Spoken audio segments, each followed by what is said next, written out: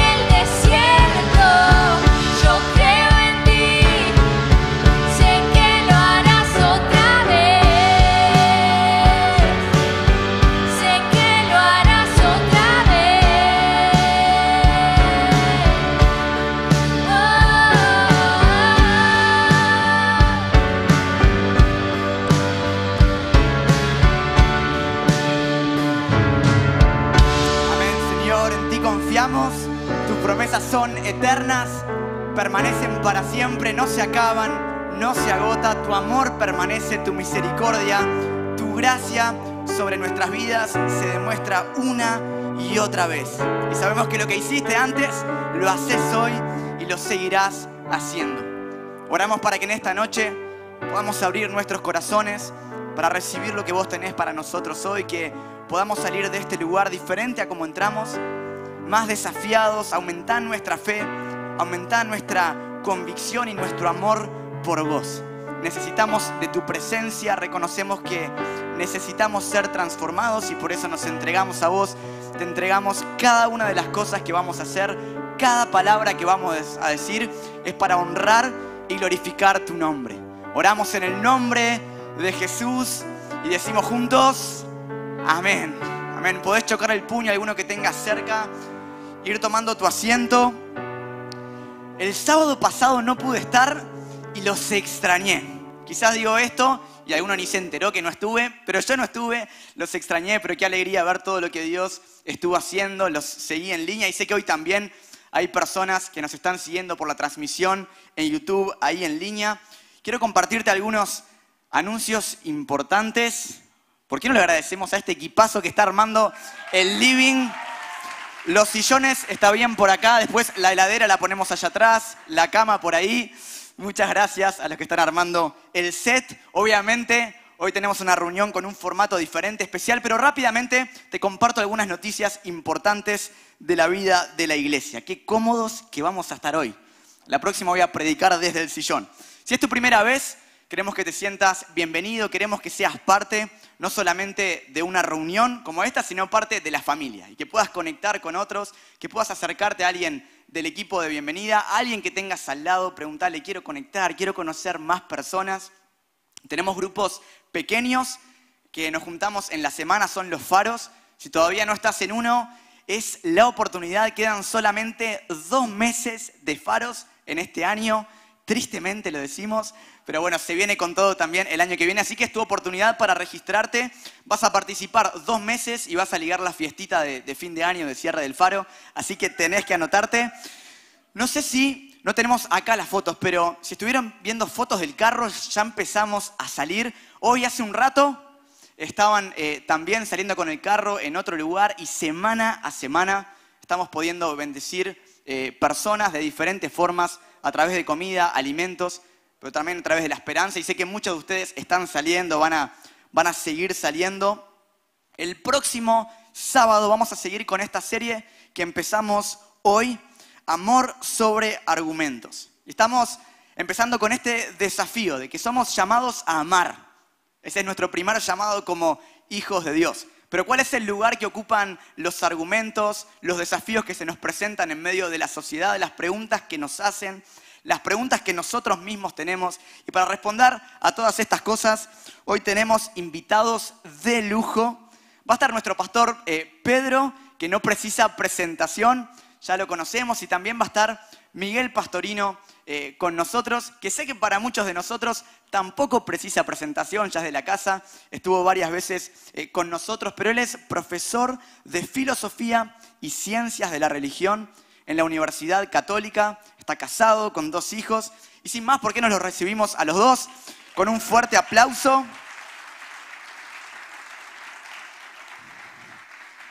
Yo voy a ir tomando asiento por acá,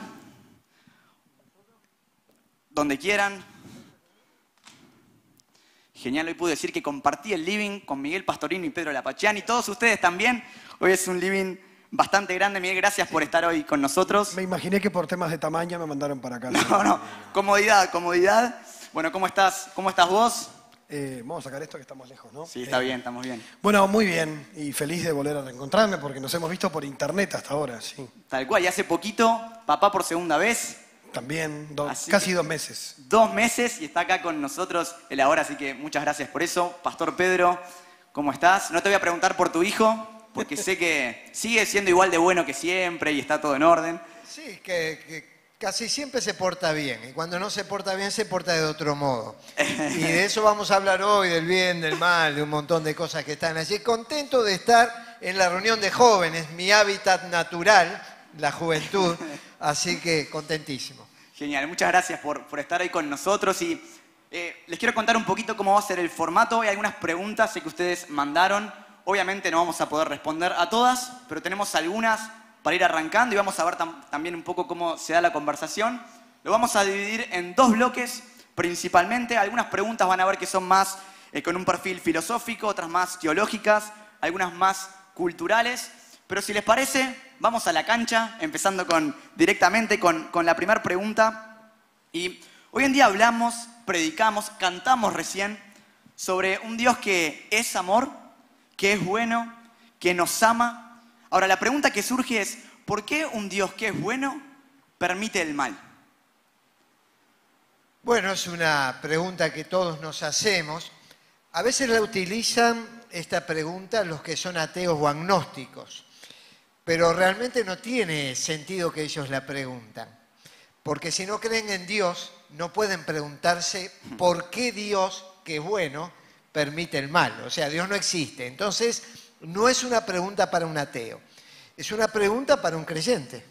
Se pregunta por qué el Dios en el cual creemos a veces eh, permite que haya mal. Pero por otro lado está dando definiciones. Dios existe, pero además hay uno de sus atributos que se menciona, Dios es bueno. La teología separa entre atributos naturales y morales de Dios. Por ejemplo, sus atributos naturales, Él es omnipresente, está aquí con nosotros, pero está en todas partes. Es omnipotente, recién cantábamos, abriste el mar, sé que lo harás otra vez, es omnipotente. Pero entre sus atributos eh, naturales, morales, está el de Él es bueno. Entonces estamos diciendo, ¿cómo es posible que un Dios bueno permita cosas malas? Algunos lo pueden utilizar para no creer en Dios, pero el mismo argumento lo podemos utilizar para creer en Dios. Si hay cosas malas, es porque hay alguien que es bueno. Y lo bueno lo hizo Dios, pero no hizo Dios el mal. Y pongo ejemplos que conocemos de la Biblia. Dios creó el universo y vio que todo era bueno, todo era perfecto. Ahora le dijo al hombre que gobernara, que señoreara sobre todas las cosas, pero ¿qué pasó? Entra el pecado en el mundo y el gobierno del hombre sobre la naturaleza que trae calentamiento global. Lo que Dios hizo es bueno, lo que el hombre produce es el calentamiento global. Pensemos en la formación del hombre, la mujer, el ser humano. Dios nos creó y, por ejemplo, lo creó con propósitos, entre otros para que se unan en matrimonio, que sean una sola carne. Dios creó la sexualidad. Y la sexualidad es buena dentro de los límites del matrimonio. Ahora el hombre toma lo que Dios creó como bueno y lo utiliza fuera del plan de Dios. Aparecen las violaciones, los abusos sexuales, la pedofilia. No es el Dios bueno que hizo estas cosas malas. Dios hizo todas las cosas buenas. El hombre las ha utilizado para el mal. Entonces, desde nuestra perspectiva, seguimos afirmando, sí, Dios es bueno. Y nosotros, los seres humanos, somos los pecadores. Y esto está claro porque la pregunta también lo dice. Ahí entra la voluntad permisiva de Dios. Dios permite y nos da libre albedrío. Todos estamos aquí. Dentro de este lugar, o los que siguen esta transmisión pueden estar haciendo bien. Y cuando nos separemos de este lugar, somos responsables de nuestra conducta. Entonces, el Dios bueno que vive en nuestro corazón no es el que está manejando nuestras vidas al punto de que nosotros eh, dejemos de hacer mal. Elegimos permanentemente y lamentablemente a veces optamos por el mal que Dios no creó. Se darán cuenta que esta es una reunión más que nunca siempre, pero esta más que nunca para estar tomando nota, para después poder repasar todos estos conceptos que van a ir surgiendo a partir de cada pregunta. Miguel. me gustaría algo que, que dijo Pedro, me parece genial, que es el tema de la libertad. Ya desde los primeros antiguos eh, autores cristianos aparecía esta dificultad. Porque el cristiano que sufre, o sea, no el ateo, el que tiene fe, Dice, pero ¿y por qué si yo soy bueno? ¿Por qué si, Dios es bueno? ¿Por qué me pasa esto tan terrible? ¿no? Me pasó a mí con un alumno, en- no en la universidad, en el liceo, que me dijo, Miguel, yo, oraba y porque mis padres no se separaran, se separaron igual. O sea, ¿dónde está Dios? Si tanto me ama. Y yo lo único que atiné a decirle fue decirle, mira, Dios no puede obligar a los que no se quieren querer a quererse.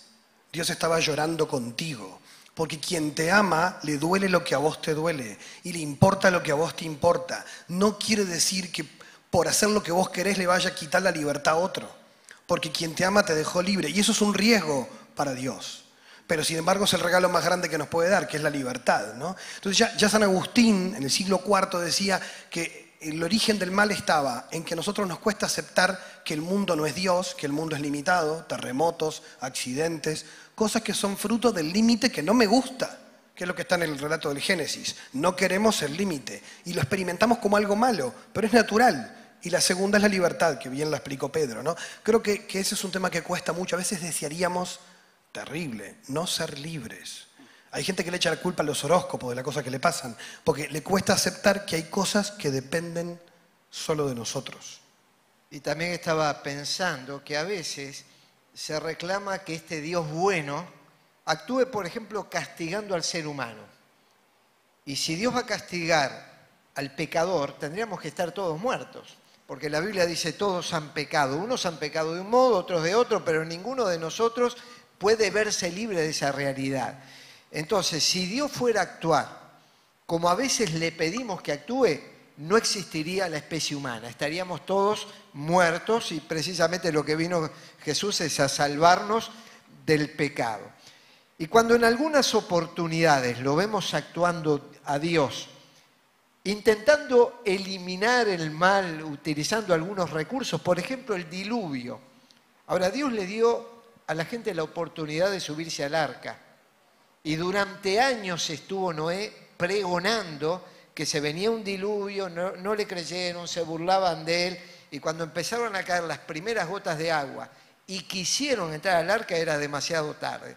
Entonces también este Dios de, de ira, donde a veces aparece manifestado de ese modo, es un Dios de amor, que siempre nos brinda la oportunidad.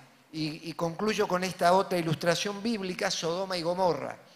El hombre se había pervertido en extremo y Dios les dio la oportunidad de, ser libres.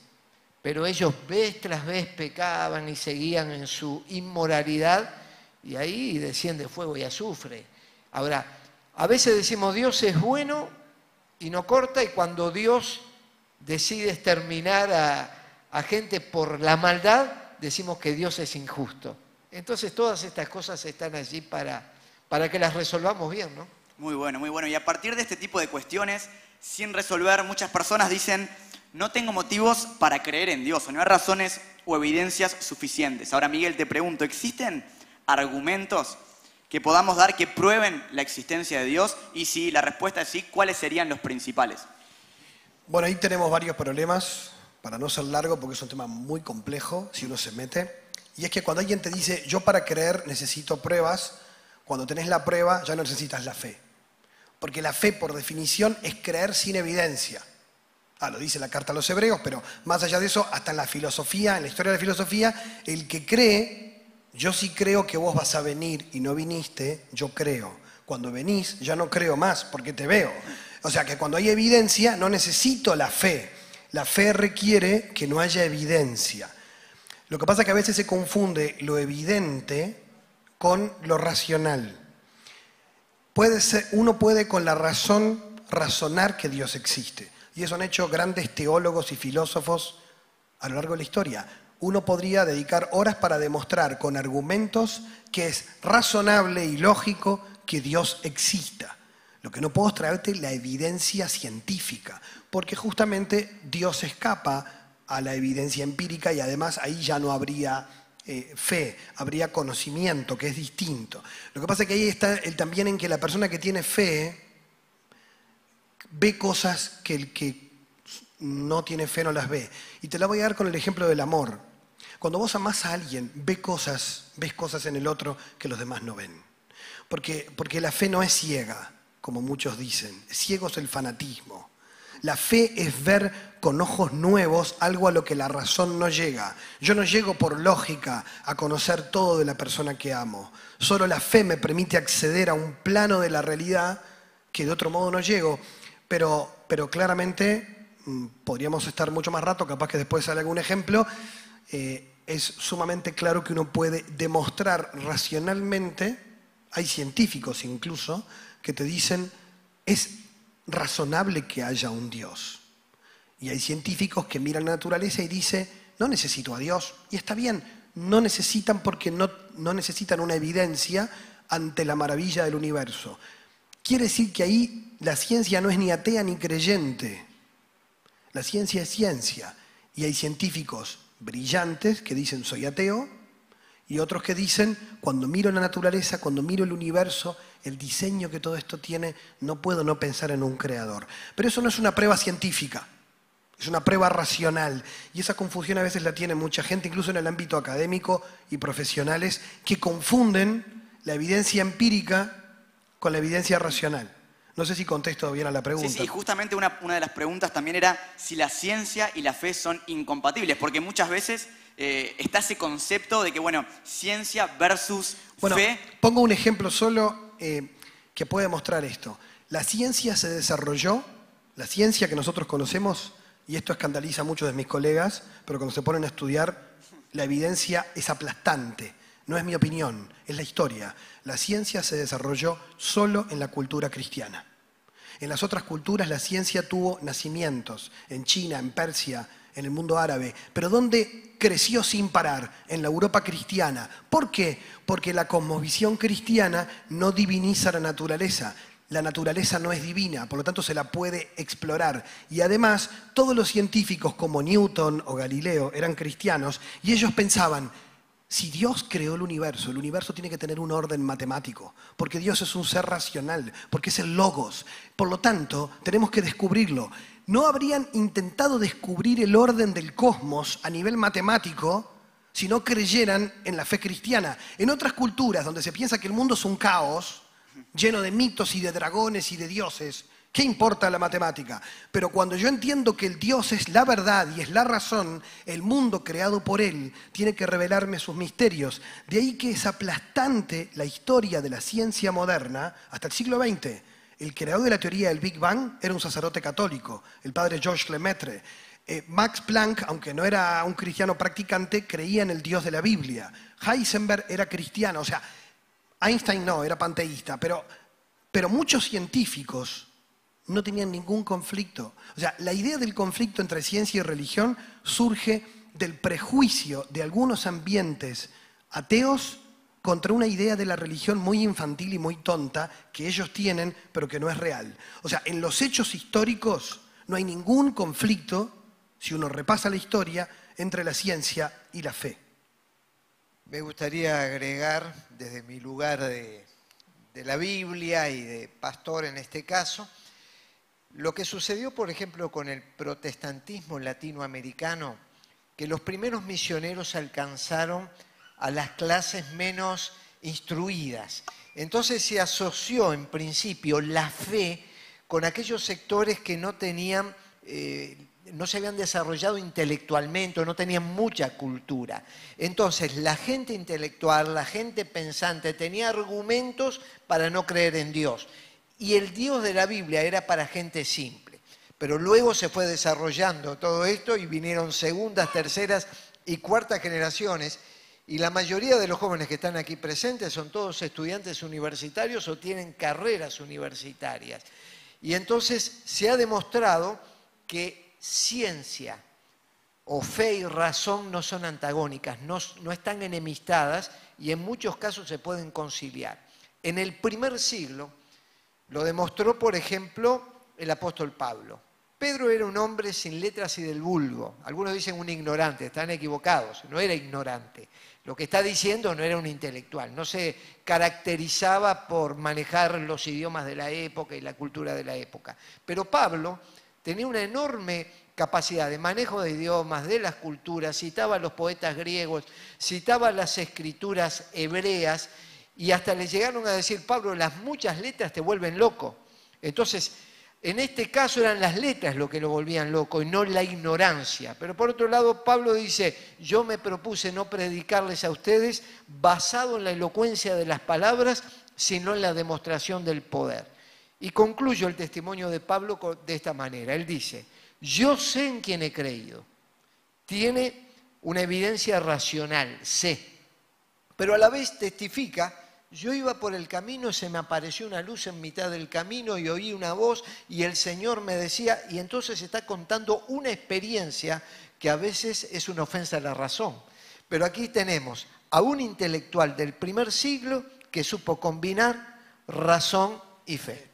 Sobre eso que dice Pedro, una cosa que me parece genial y que hay que rescatarlo siempre. Hay personas sin mucha formación intelectual con una gran fe, con una fe que mueve montañas gente muy sencilla. Y hay gente muy intelectual con una gran fe, con una gran fe. Porque, porque entienden que el, llevar a plenitud aquello que Dios creó implica también el cultivo de todo lo que Dios me dio, especialmente de la cabeza, ¿no? de, de la razón. Pero es cierto que nadie llega a la fe por estudiar más filosofía ni ciencia.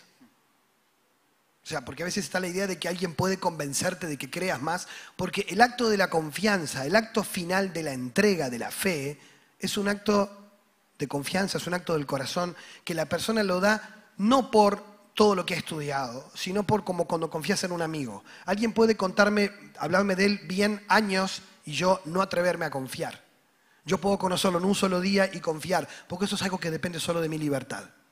Ahora, claramente, el estudio de la razón ayuda a comprender la fe, a argumentar sobre ella y a, explicar a otros.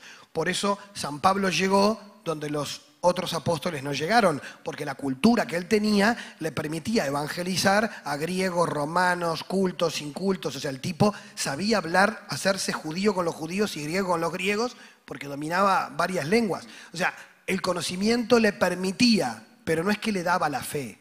La gracia se llevaba puesto todo. Por eso Pablo puede decir, todo mi currículum lo tiro al tacho, es basura a causa de Jesucristo, porque, porque todo eso es muy lindo, pero no es para mí lo más importante. O sea que no son cosas incompatibles, pero se pueden distinguir, que es lo que a veces no queda tan claro. Y parte de lo que están hablando es directamente la esencia de esta serie que estamos trayendo, amor sobre argumentos. Queremos tener fundamentos para defender nuestra fe, queremos tener argumentos para explicar, para tener respuestas en preguntas que puedan surgir, pero el fundamento de esos fundamentos es el amor y la fe que ya tenemos depositada en Jesús y nuestro corazón es tener herramientas para poder seguir eh, expandiendo, haciendo crecer y compartiendo nuestra fe. Vamos a cortar este primer bloque por acá. Voy a pedir mi celular si está por ahí. Y este es el momento de la reunión en el que podés entrar a Instagram, podés entrar ahí a tu cuenta, en esjóvenes.uy. Vamos a hacer rapidito, dos minutos, una encuesta que ves ahí. Antes de pasar al otro bloque. Corta y volvemos. No, no, podés responder otros WhatsApp, no podés ver otras notificaciones, solamente dos minutos para poder entrar a la cuenta de jóvenes. Ya aprovechás que si no la seguís, podés empezar a seguirla. Y hay una pregunta que dice en base a todo esto, ¿no? ¿Alguna vez sentiste que no tenías argumentos suficientes cuando te preguntaron algo sobre tu fe o tus convicciones? Y ahí con sinceridad puedes responder, vamos a publicar los porcentajes y no los nombres, así que podés responder con confianza. Y la segunda pregunta dice, si te pasó, ¿qué hiciste? Dice, le pregunté a alguien para conocer, para tener la información y después poder dar una respuesta. La segunda opción es me lo guardé y traté de que no volviera a surgir el tema. O una tercera opción que es ignoré el tema. Y la idea, de esto es que puedas responder con completa sinceridad. Después a la salida los que respondieron que, que sí, los vamos a buscar y hablar con cada uno personalmente. No, mentira, eso no va a ser así. Entonces vamos a ir viendo el porcentaje de las respuestas. Ya 88% respondieron que sí, y 12% mintieron. No, mentira, 12% respondieron que no. Y esa es un poco la realidad. Si somos sinceros, la mayoría de los que estamos acá alguna vez sentimos que no teníamos la respuesta o argumentos suficientes ante planteos que nos puedan hacer. Y evidentemente, en el rato que tenemos hoy, no vamos a poder responder a todos los planteos que nos puedan surgir en el tiempo, pero la idea es abrir la conversación, saber que este es un lugar también para poder hacer preguntas, acercarte a alguno de nosotros y juntos eh, poder conocer todo esto para conocer sobre todas las cosas, no más argumentos o más filosofía, como decía Miguel, sino conocer más a Dios y su amor por nosotros. Muy bien, ahora sí vamos a... Hay que cerrar Instagram. Ese fue el minuto de Instagram de la noche. Y vamos a volver con este segundo bloque, aprovechando el tiempo. Y son algunas preguntas ahora un poquito más sobre, sobre cultura, principios, convicciones que tenemos. Y vamos a ir eh, conversando entre los tres, entre los dos. Yo voy a ir haciendo las preguntas. Y dice así la, primera pregunta en este bloque. En un mundo tan secularizado, con nuevas posturas e ideologías que surgen constantemente, ¿Qué tan importantes son los argumentos, saber argumentar, a la hora de compartir nuestra fe? Bueno, para mí eh, esto es un tema que lo he trabajado años, em, me parece fundamental. Eh, yo de chico me crié en ambientes donde no todos compartían la fe y, y era que ibas a un cumpleaños y como sabían que eras cristiano, ah, vos que vas a la iglesia, vení que te quiero hacer preguntas, ¿no? Y vos no eras el teólogo con 15 años para responder a todos los dilemas. Eh, entonces me di cuenta que hay gente que pregunta para pelear, pero hay gente que pregunta para saber.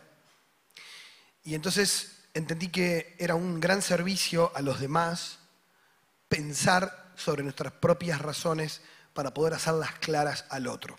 El gran tema, creo que el gran tema, sobre todo en un mundo secular, en una sociedad secular, es que no podemos presuponer que los otros conocen lo que nosotros conocemos. Yo no puedo a un ateo argumentarle con citas bíblicas o decirle porque Dios lo quiere así. Y me dice a mí que me importa si no existe Dios. En cambio, yo con alguien que no cree puedo estar de acuerdo en un montón de valores y de principios.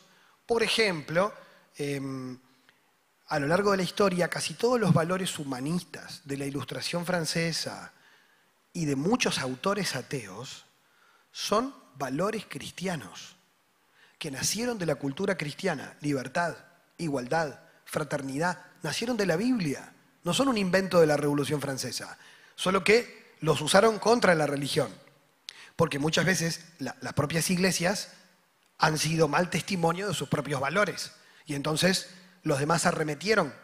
Pero el tema es que estamos de acuerdo en muchos de estos valores.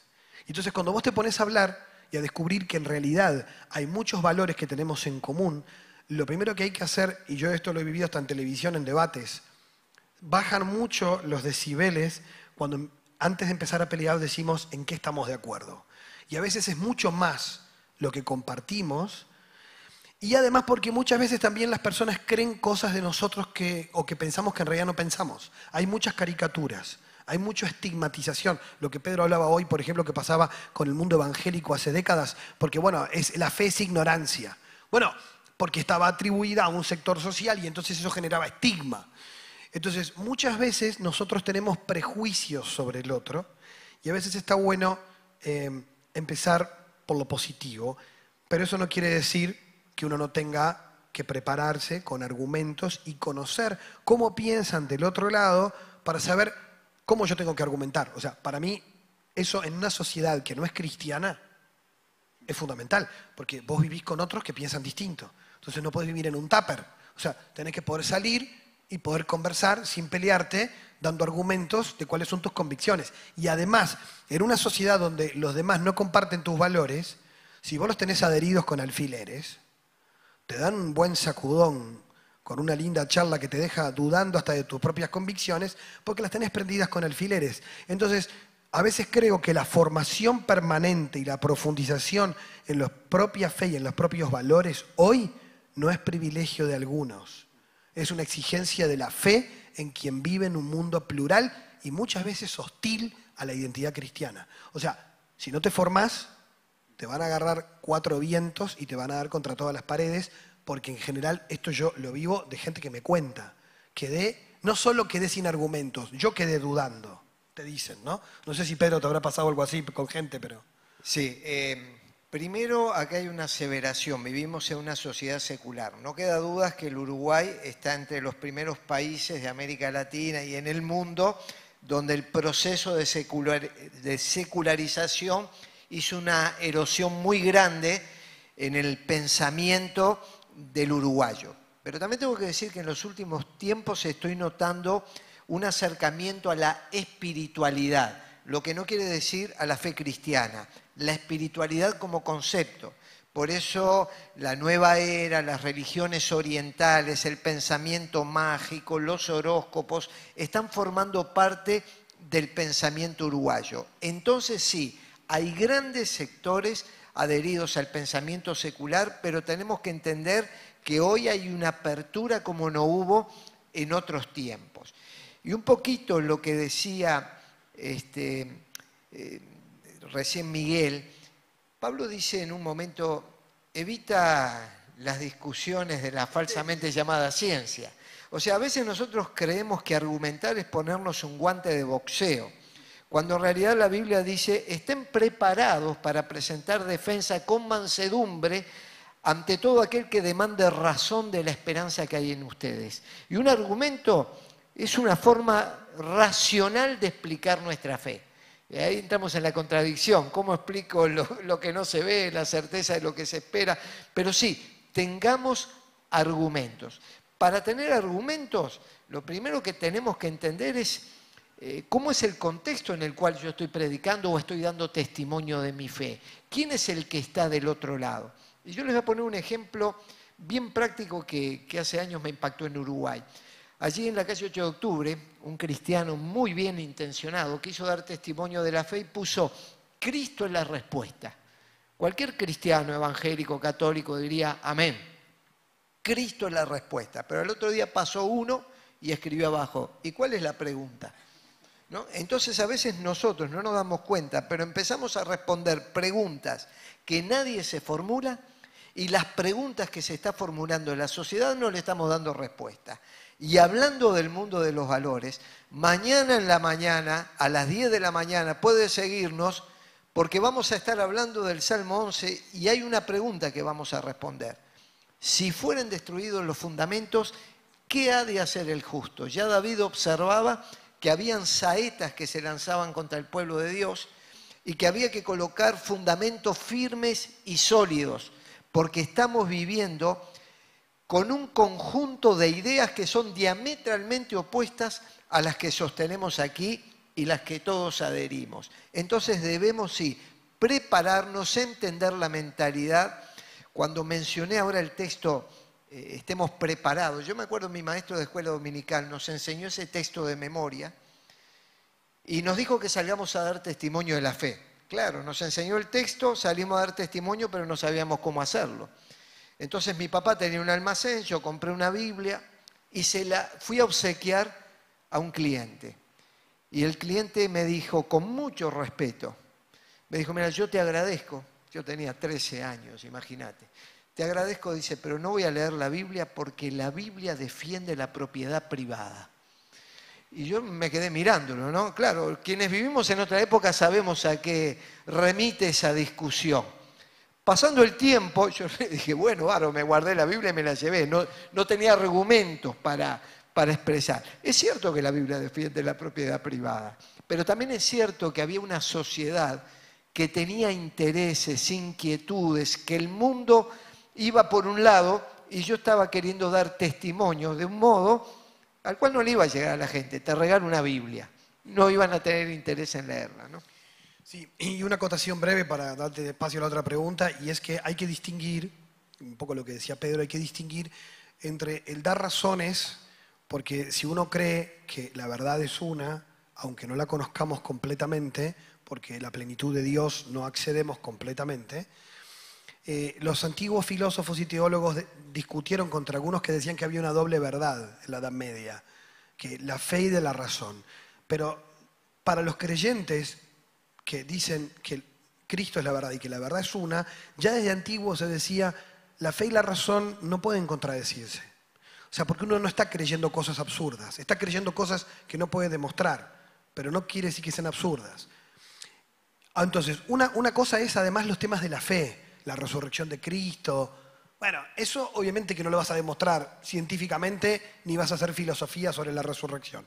Pero los temas de valores, los temas de moral, los temas que tienen que ver con la convivencia humana, temas de discusión como el aborto, la eutanasia, no son temas religiosos, no son temas de fe. Aunque el creyente tiene argumentos bíblicos para su posición, en realidad esos temas son discusiones en las que yo puedo argumentar sin apelar a la fe. Porque apelo a los derechos humanos, apelo a valores fundamentales de la cultura occidental. Y eso a veces hay que tener cuidado porque a veces utilizan como forma de silenciar el argumento cristiano, ah, bueno, pero vos porque hablas de la religión. No, yo puedo argumentar, por ejemplo, sobre la cuestión del aborto, explicando la, la diferencia entre lo que es una persona y lo que es una cosa. Porque en una sociedad puede haber una ley que decida matar gente, pena de muerte, eutanasia y aborto. Pero la discusión, antes que haya ley o no haya ley, la discusión es, ¿es un ser humano o es otra cosa? ¿Es un renacuajo o es un ser humano? Aunque esté en proceso de gestación, ¿estamos hablando de un quiste o de un ser vivo? ¿De qué estamos hablando? Entonces, cuando yo aclaro los conceptos, puede seguir estando a favor de la ley la persona, pero por lo menos hablemos claro de qué estamos discutiendo. Y esto a veces es la poca claridad que hay entre los cristianos, entre los que son temas de fe y temas de moral. Los temas de moral se pueden argumentar con la razón, sin necesidad de apelar a la Biblia. Y eso a veces es una debilidad por falta de formación. Y que me parece que en los debates de hoy son fundamentales. Ahora, más allá de los tipos de argumentos que podemos tener y usar para así defender nuestra fe o nuestras convicciones y principios, ¿cuál tendría que ser, eh, más allá de los argumentos que tenemos, nuestra postura como creyentes eh, ante estos temas en debate de la sociedad o leyes que ya conocemos que están ahí sobre la mesa, algunas que ya pasaron la mesa? Es salir a decir lo que creemos, manifestar en una conversación, chicos acá que están en, la facultad o en grupos de amigos, ir a decir lo que yo creo, esperar a que me pregunten, callarnos para, para no herir a nadie los sentimientos. ¿Cuál debería ser nuestra postura en ese sentido? Bueno, yo te digo brevemente la mía, ¿no? Creo que ahí no, no sé si tenemos las recetas para todos. Yo tengo la postura de que eh, los temas no deben ser terminados. Los temas de discusión en una sociedad plural, a veces dicen, pero eso ya, está laudado con una ley. Sigue siendo un tema ético de discusión. Los países que tienen la eutanasia legal están preguntándose si no han generado una sociedad donde nadie quiere llegar a viejo ni nadie y ya no hay ancianos con demencia porque nadie los quiere cuidar y porque prefieren morirse antes. Entonces, hoy en Holanda están debatiendo si no se equivocaron. Quiere decir que, que aunque haya a la gente confunde lo legal con lo moral, que haya leyes no quiere decir que los temas no se puedan discutir hasta por siempre. Eso es una cosa. O sea, tenemos que poder discutir con respeto, con mansedumbre, como bien dijo Pedro, con humildad, pero con, con, razonabilidad, poder discutir que yo puedo tener un pensamiento distinto, apelando a que estamos en sociedades democráticas y plurales y que a mí no me van a excluir mi opinión porque yo piense distinto, porque no se la pretendo imponer a nadie. Pretendo tener la posibilidad de dar a conocer otra mirada que tal vez ilumine el debate y aporte. Igualmente, y hago una salvedad, hay que distinguir discutir temas del testimonio de la fe. Yo creo que el testimonio de la fe no es un argumento, es irrebatible. Y esto siempre lo doy como consejo cuando trabajo con jóvenes de fe que me dicen, Miguel, pero hay veces que me quedo sin... Sí, pero ¿sabes qué pasa? Hay veces que si te están cuestionando a vos, el mejor argumento no es lo que sabes, sino lo que vivís. Mira, no tendré respuestas, pero mi vida me pasó esto. Y yo soy feliz. El otro muchas veces baja la guardia y dice, pa, la verdad, qué impresionante, te respeto pila, me encanta. Y, y, dar el testimonio de la fe tiene que ver no con convencer, sino con poner arriba de la mesa que mi opción no tiene que ver con que me convenzas o yo te convenza. Tiene que ver con algo mucho más profundo. Por eso hay que distinguir el testimonio de la fe de un debate social en que los cristianos tenemos que estar, porque la luz hay que ponerla arriba y no esconderla abajo de la cama, ¿no? Sí, cuando Miguel hoy hablaba de las dos verdades en la Edad Media, yo digo, y en esta edad estamos viviendo un montón de verdades, porque está la tuya, la mía, la del otro, y la verdad está tan relativizada que todo vale. Entonces nosotros somos una opinión más en medio de tantas opiniones de hacer la tuya, lo que sientas, lo que te parece. No hay una verdad objetiva. ¿Qué tengo que hacer yo? ¿Cuál es nuestro rol como iglesia? Bueno, lo primero que yo entiendo es que hay que respetar que hay otros seres humanos que piensan diferente y están en una etapa de sus vidas donde la fe o la luz de Cristo no les ha amanecido. Por ejemplo, en un momento Pablo da testimonio y dice, antes yo fui blasfemo, injuriador y perseguidor, pero la misericordia de Dios fue grande y me recibió. ¿Qué está diciendo Pablo? En un momento de mi vida, yo hasta llegué a perseguir a los cristianos. Entonces lo que hay que tener es una actitud de espera, de respeto, porque quizás al otro que lo estamos viendo como el enemigo, mañana es el apóstol Pablo que el Uruguay está precisando. Luego tengo que entender sus argumentos, en qué se basan, qué es lo que me dice. Y yo tengo que estar informado. Por ejemplo, eh, Miguel está muy informado del tema de eutanasia. Hemos he estado en la escuela de ministerio con él hablando acerca de esto, yo he estado en algunas instancias escuchándole. Bueno, qué bueno es, tener cristianos formados e informados en los diferentes temas. No hay nada peor que, ustedes saben que a veces predico, prediquemos con la Biblia en una mano y con el diario en la otra. Saber lo que está pasando en el mundo, cuáles son las formas de pensar, cuáles son las modas, cuáles son las corrientes que aparecen entonces tengamos una respuesta. También pienso que hay que expresarnos y hay momentos, hay tiempos de hablar y hay tiempos de callar. Yo creo que aunque la Biblia dice que demos testimonio a tiempo y fuera de tiempo, se está refiriendo a que no nos callemos, que demos testimonio. Pero hay momentos en que no se presta para salir con todos los versículos bíblicos en un contexto donde te das... Yo acá tengo todos jóvenes cristianos que mañana van a estar aquí en la iglesia. O cuántas personas nos están escuchando que tienen esta forma de pensar como nosotros. Y bien, pastor, que menciona la Biblia. Pero la mayoría de la sociedad, y quizás muchos de los que nos escuchan, no viven así. Entonces yo aprendo del apóstol Pablo. Cuando iba camino a mi posgrado en el campo de evangelismo, una de las tesis menores fue el sermón evangelístico. Entonces tomo el mensaje de Pablo en el Areópago. ¿Qué es lo primero que hace Pablo? Sale por Atenas y empieza a recorrer la ciudad. Y la observa. Y cuando comienza su discurso, comienza con puntos de acercamiento. No los critica, no les dice, esta sociedad politeísta, endemoniada, les dice, observen todo que son muy religiosos. Es una observación. También observó que había un altar al Dios no conocido. Dice, miren qué barro, ustedes hay un Dios que no conocen. A ese Dios es el cual yo les vengo a predicar. Pero previamente a llevarlo al Areópago, ahí dice que había epicúreos y estoicos. Y cuando yo analizo el contexto del mensaje de Pablo, me doy cuenta que está rebatiendo la filosofía de los epicúreos y de los estoicos, las inquietudes que ellos tenían.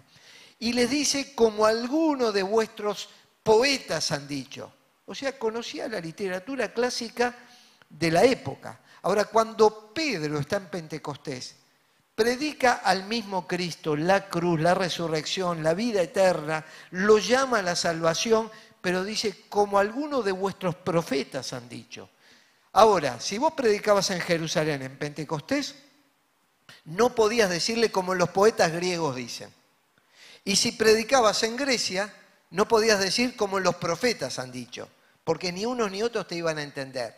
El tema era buscar los puntos de conexión con esa sociedad.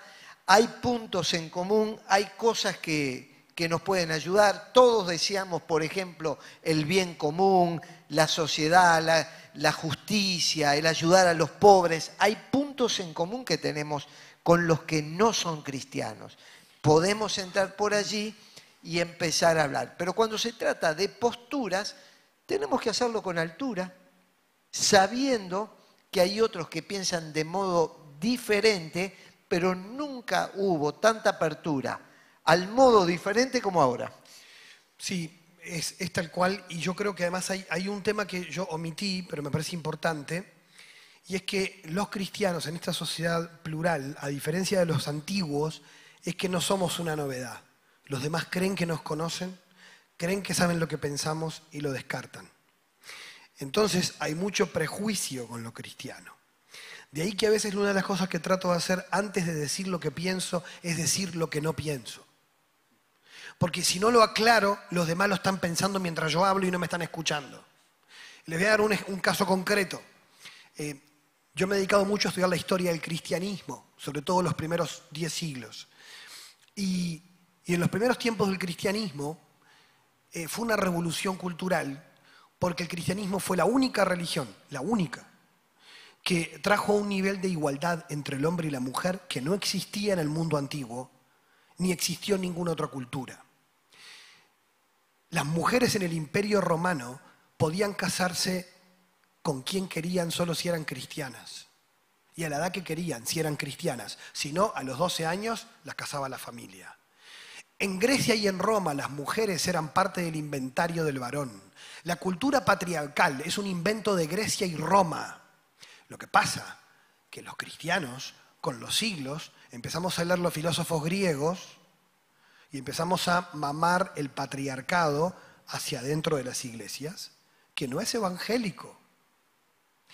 Y entonces, esa mentalidad que, de la cual hemos dado mal testimonio a lo largo de la historia, hay que decir que no es nuestra, es pagana. Aristóteles dice en la política que la mujer es un hombre incompleto. No dejen de estudiar Aristóteles por esto, digo, o sea, criticable, pero no como ahora que quieren quemar toda la, antigüedad, ¿no? Eh, pero en el, cristianismo hay un estudio de Rodney Stark, un historiador evangélico norteamericano, que se dedica a estudiar el, cristianismo primitivo y él demuestra con datos que el cristianismo primitivo se desarrolló gracias a la mujer. ¿Por qué? Porque los romanos mataban a sus hijas mujeres si eran primogénitas porque querían un varón. Las cristianas amaban a las mujeres y tenían igual derecho. Y entonces vivían. ¿Qué pasó en poco tiempo? Dice Stark, como sociólogo, si te querías casar con una mujer, era cristiana. Y entonces evangelizaron a sus maridos. Y el cristianismo primitivo, por dato sociológico, explotó gracias a la mujer. Cuando yo le he dicho esto a amigas que militan en, en colectivos feministas, yo digo, ¿ustedes siguen pensando que el cristianismo es, es la fuente de la violencia contra la mujer? Eso es ignorancia pura. El cristianismo inventó la, igualdad que ustedes defienden, aunque a veces no la practiquemos. Pero, ¿cuántos palos se le dan al cristianismo por ignorancia histórica? Y es más, porque se ha contado una historia contra el cristianismo en nuestros libros de historia.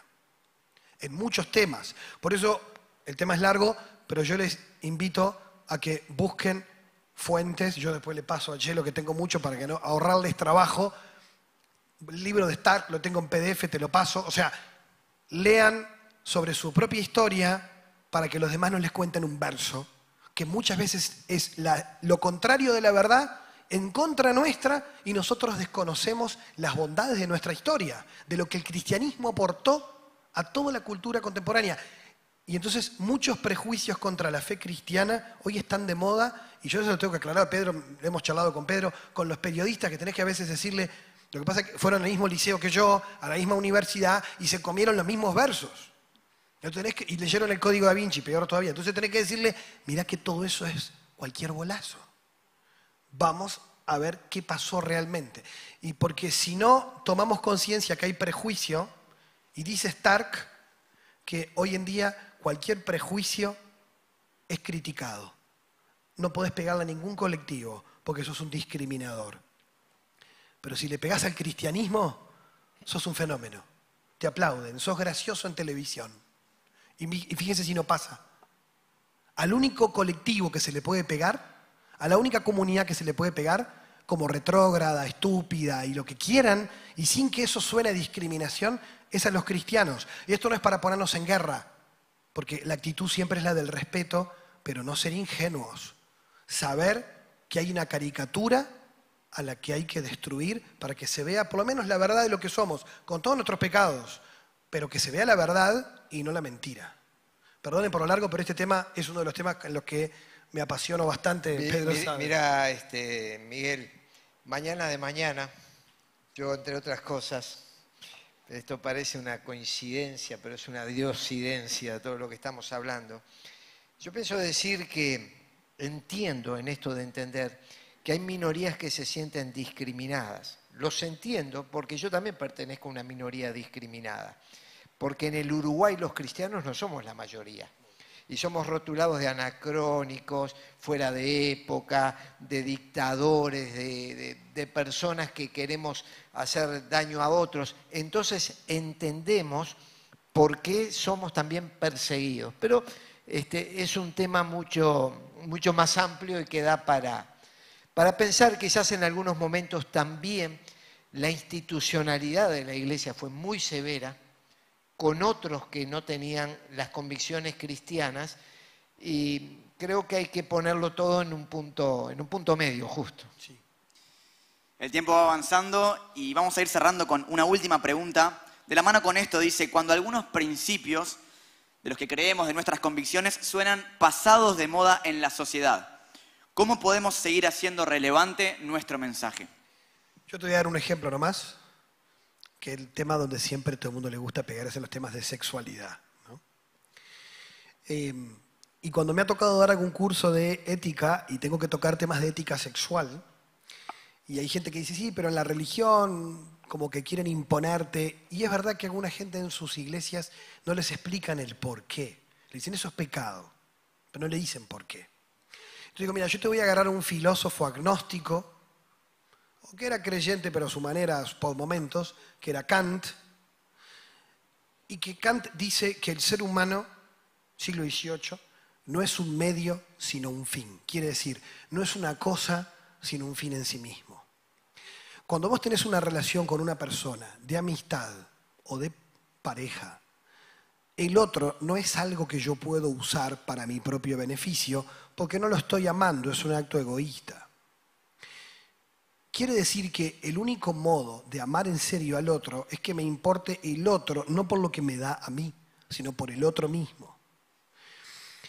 Y de hecho, toda la filosofía humanista no cristiana ha vivido según estos principios. Es decir, ¿cuál es el fondo de la ética sexual cristiana? Que si yo comparto contigo mi cuerpo, es porque estoy compartiendo todo lo que yo soy. Y todo lo que yo soy no es solo físico, es todo mi ser. Porque yo no puedo dejar mis afectos en el freezer, mi vida espiritual en otra heladera y mi cuerpo lo tiro en la cama. Cuando estoy yo, estoy todo yo. Y cuando yo me doy todo, estoy dando mi ser. Y si doy mi ser, la vida sexual refleja la entrega total. Por lo tanto, o comparto todo o estoy siendo egoísta. Esa es la razón de fondo. En el fondo te estoy usando y me estás usando por un rato y después no sé, después vemos. Pero en realidad es simplemente negar lo que yo soy. Por lo tanto, el ideal cristiano, que para muchos es un ideal difícil en la cultura actual, es un ideal de un amor coherente, no de una moral puritana de mojigatos que viven adentro de un tupper, sino de gente que o ama en serio o es un mediocre. Esa es la diferencia. O sea, la diferencia es cuán capaz de amar radicalmente soy como para entregarme por entero o que es una mentira. ¿Saben la cantidad de gente que hoy está llena de trastornos en su vida sexual por el consumo de pornografía, porque idealizan una, una sexualidad que no conocen, porque no han tenido experiencia y después están llenos de trastornos por eso, porque piensan que esa es la realidad, lo cual les afecta mucho la cabeza, y hay estudios científicos sobre esto de gente no cristiana, y además relaciones fortuitas degeneran jóvenes con muy baja autoestima que se sienten descartables y que tienen que luchar por ser consumidos, que tienen que luchar por su imagen para agradar. Pero ¿quién te va a amar cuando estés en una silla de ruedas? ¿Quién te va a cuidar? Solo quien te ame a vos. No quien te tenga cuando le gustes, sino cuando no le gustes. Si nos tratamos como si fuéramos bienes de supermercado para meter en el carrito y después tirar, el ser humano no vale nada. Entonces, la vida sexual cristiana no es retrógrada, es radical. Por eso escandaliza. Pero en el fondo es lo que todos desean. La vida sexual más plena es cuando uno ama a la persona totalmente, que te toca la mano y ves el cielo. Si haces el amor, estás en el cielo, porque Dios está en ese vínculo de entrega total, que solo es posible cuando la entrega es total en todos los sentidos, no de a ratos. Y me metí en este tema porque es en el que hay más miedo a hablar. Y en el fondo a veces parece como que estamos acomplejados y ni siquiera defendemos nuestras convicciones, que en realidad un ateo las puede compartir perfectamente, porque tiene que ver con, ¿usás al otro o lo querés de verdad? Esa es la diferencia. Y me parece que ese es uno de los temas en los que hay que hablar más. Y, con, y, sin, sin pudor, ¿no? sin temores. Sí, cuando pienso en esto de cómo hacer relevante el mensaje, cuando doy las clases de homilética o en eventos pastorales, siempre digo que el mensaje o los debates, hay tres cosas que siempre hay que tener en cuenta. ¿Qué se dice? ¿Quién lo dice? ¿Y cómo se dice? El qué lo dice es importantísimo. Podemos mostrar un evangelio sombrío o un evangelio alegre, feliz. Los cultos pueden ser un velatorio o pueden ser una fiesta. Nuestra postura de santidad puede reflejar monasticismo o puede mostrar lo maravilloso que es apartarse de un sistema pecaminoso y tener valores superiores como los que estaba mencionando Miguel. ¿Qué se dice? Después, ¿quién lo dice? Porque es importante que mostremos, Jesús dijo así, yo soy la luz del mundo, pero después dice, ustedes son la luz del mundo. Y una ciudad sentada sobre un monte no se puede esconder vuestra luz alumbre delante de los hombres para que vean vuestras buenas obras y glorifiquen al Padre que está en los cielos. Muéstrame tu fe por tus obras. Es decir, ¿quién lo dice es muy importante? Cuando vamos a la universidad, en el barrio, en medio de la familia, nosotros tenemos que ser esa luz de Cristo que muestre que estos valores son atractivos, la gente busque esa luz y esos colores. ¿Y cómo se dice? Otra vez más, tenemos que entender que hay otras personas que tienen otras formas de vivir y mostrarle con nuestras palabras y gestualidad de que los amamos y que es importante que vengan a los pies de Cristo. Eh, lo resumo con una breve ilustración. Cuando tenía 17 años, un vecino del barrio había sido uno de los primeros que adhería a una fuerza política que negaba la existencia de Dios en este país. Sus hijos habían escapado a Venezuela en aquellos años buscando refugio, asilo político.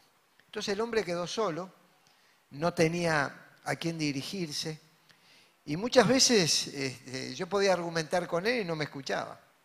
Pero un día cayó enfermo, lo fui a cuidar al hospital y sin hablarle de Cristo, mencionarle la Biblia ni hacer una oración, me dice, cuando yo salga de esta, voy a ir a tu iglesia.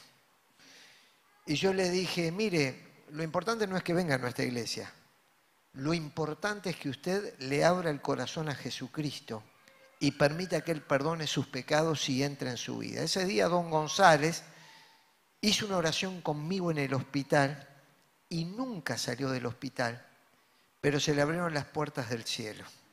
Entonces la única manera que tenemos de convencer a los demás con un adolescente que fue a cuidar a un viejo que nadie lo atendía. Y la verdad que no lo hice ni siquiera con la intención de que llegue a ser cristiano, sino movido por el amor. Y ese amor que mostró el amor de Cristo fue una de las primeras personas que tengo conciencia de haber guiado a los pies del Señor y sé que me está esperando en el cielo y un día voy para allá, ¿no? Muchas gracias, muchas gracias a ambos por cada una de estas eh, respuestas y, me encantó también en la pregunta, ¿no? Que dice, ¿cómo podemos seguir haciendo relevante nuestro mensaje? Nuestro mensaje siempre es relevante. El ser humano siempre necesita el perdón de pecados, la salvación, la vida eterna. Está en el corazón del ser humano. Quizás los que tenemos que ver cómo compartirlo, buscar las formas o buscar los métodos somos nosotros, pero el mensaje que tenemos para compartir es el único que cambia y que transforma las vidas. Bueno, gracias. Yo ahora me quería quedar con esta imagen que decías de cómo hacerlo relevante y para mí hay una, hay una experiencia fundamental y es conectar con las preguntas del hoy, lo que decía Pedro del diario. ¿Qué preguntas tiene la gente hoy? ¿Cuánta gente hoy no le encuentra sentido a su vida? La pregunta por el sentido de su vida. ¿Para qué vivo? Hoy mucha gente anda atrás de libros de autoayuda para ser feliz. ¿Qué es ser feliz? ¿Sabe lo que es ser feliz? O sea, conectar con las preguntas de la gente para no dar respuestas que no le pegan a nada. Y me gustaría cerrar con una conexión de dos términos bíblicos. En el hebreo es Gesed Behemet, que es amor y verdad. Y es, en la Biblia, el amor y la verdad, dice, se besan, van juntas. Y yo creo que los cristianos tenemos un gran desafío ahí, siempre, en toda la historia. No puede haber amor sin verdad.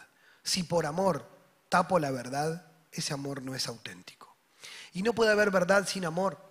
Porque si yo en nombre de la verdad lastimo a mi hermano, si en nombre de la verdad, porque no es fiel a la, a la- doctrina que no sé qué, le doy por la cabeza. O sea, entonces, por amor a la verdad, termino no teniendo amor al otro. Entonces, la verdad nunca es sin amor. El amor a la verdad me tiene que llevar siempre a amar al otro. Y hoy en día hay tentación en algunos grupos cristianos que se ponen muy rígidos por los, problemas que estamos teniendo en una sociedad tan relativista, que en nombre de la verdad agreden. Y entonces el testimonio y el mensaje deja de ser relevante porque tu antitestimonio de agresividad o de imposición destruye todo. Entonces, creo que al igual que los primeros cristianos, ojalá nos miren y nos podamos sobresalir por cómo amamos, por cómo amamos como los primeros, y que ese amor nunca oculte la verdad, que estemos dispuestos siempre a mostrarla. que se conozcan por el amor que se tienen los unos a los otros. Muchas gracias Miguel, gracias Pedro por estar con nosotros. ¿Les parece si lo despedimos con un fuerte aplauso? Yo, me quedo con, con- con esto último que estuvimos hablando mientras va pasando la banda también y lo dejamos tomar sus asientos. Una de las preguntas hoy, quizás con las que viniste, es a ver cómo estoy de argumentos. ¿no? ¿Qué herramientas tengo? Y nuestra oración obviamente es que, como estuvimos compartiendo cada uno de nosotros, pueda ir adquiriendo herramientas, argumentos. Es imposible que los adquiramos todos en un rato que compartimos un sábado y te animamos a que puedas seguir eh, conociendo, capacitándote, aprendiendo, sabiendo defender. Nuestra fe es muy importante. Pero por encima de la pregunta de cómo estás de argumentos, la pregunta que quiero que te hagas hoy es cómo está tu relación con Dios. ¿Cómo está tu relación personal con Jesús? Porque como escuchamos recién, sin amor, el amor real, el, amor de Dios en nuestros corazones, ningún argumento, ningún libro, ninguna postura, ninguna defensa tiene sentido.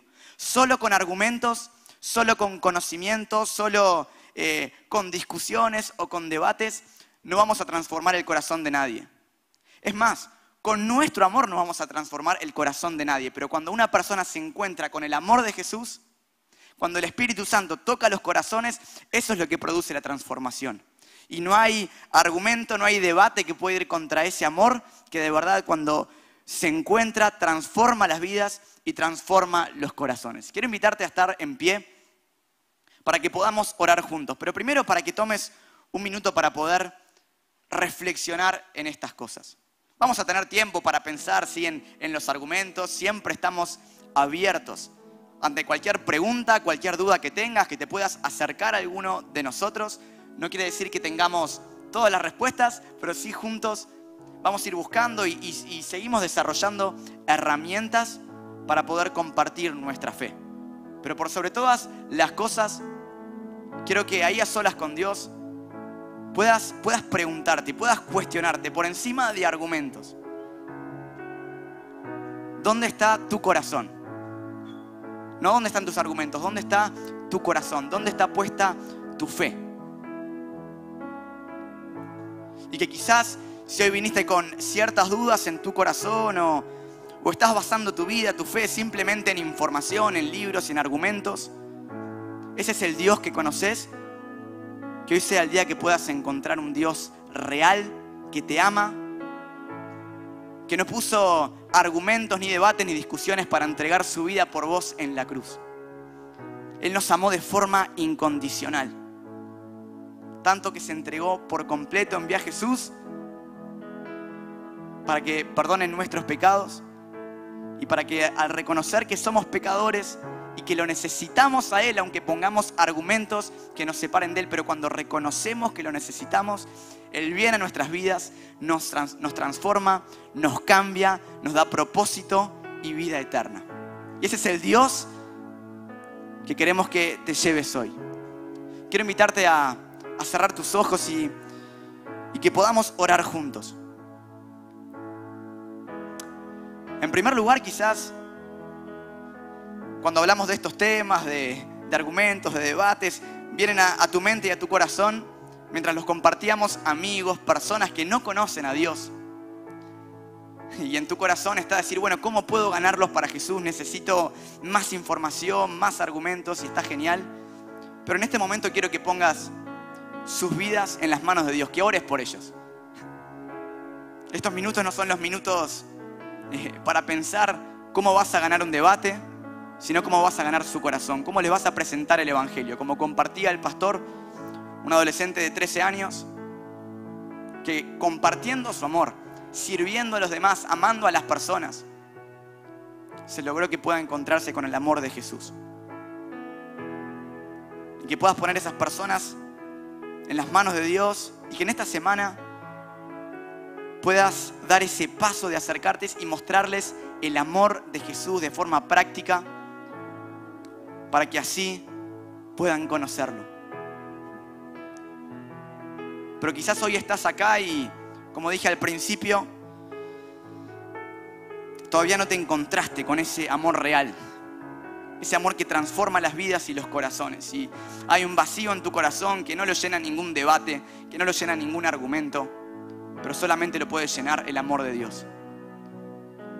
Y si ese sos vos, y hoy quieres entregarle tu vida a Jesús, quiero que ahí donde estás, con ojos cerrados, puedas acompañarme en esta oración.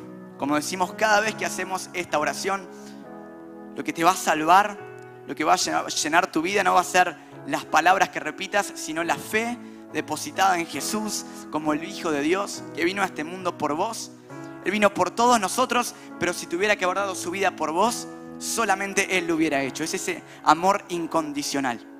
Y si hoy quieres entregarle tu corazón a Jesús, te invito a que ores junto conmigo y que nos acompañemos juntos en esta oración y decimos, Señor Jesús, gracias por tu amor incondicional. Gracias porque me amaste sin debates, sin argumentos. Viniste a este mundo a morir por mí reconozco que soy pecador, te necesito, te entrego mi vida y desde hoy en adelante y por la eternidad quiero caminar junto a vos. En el nombre de Jesús,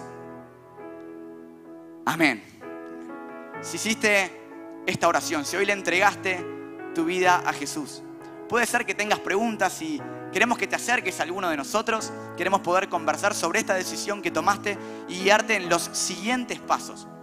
Eh, hoy es el día de salvación, dice la palabra de Dios que hay fiesta en los cielos por esta oración que hiciste, por haberle entregado tu vida a Jesús. Y hay fiesta también acá, hay celebración también acá por cada uno que le entrega su corazón a Él. Pero a partir de hoy empieza un camino nuevo, empieza una vida nueva y queremos acompañarte en estos pasos de fe. Así que como siempre decimos, hay un montón de formas de conectarte, de empezar a conocer personas y conocer más de Dios. No dejes de acercarte a alguien, de conectar con alguien, de escribirnos por, por las redes, de la forma que sea, pero queremos conectar contigo. ¿Y qué te parece si con alegría terminamos celebrando y exaltando el nombre de Jesús?